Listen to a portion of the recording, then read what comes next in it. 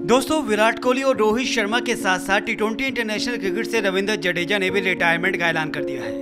रविंद्र जडेजा का ये T twenty world cup tournament bat और गेंद से बहुत अच्छा तो नहीं गया, लेकिन ट्रॉफी जीत के साथ जडेजा ने भी फैंस का धन्यवाद करते हुए और ट्रॉफी जीत के साथ ही संन्यास की घोषणा कर दी है। जडेजा ने भारतीय टीम की ट्रॉफी जीत को अपनी वाइफ रिवाबा जडेजा और अपनी बेटी के साथ भी सेलिब्रेट किया और अपनी फैमिली के साथ इस तस्वीर को साझा किया, जो स्टैंड में फाइनल मैच देखने पहुँची थी।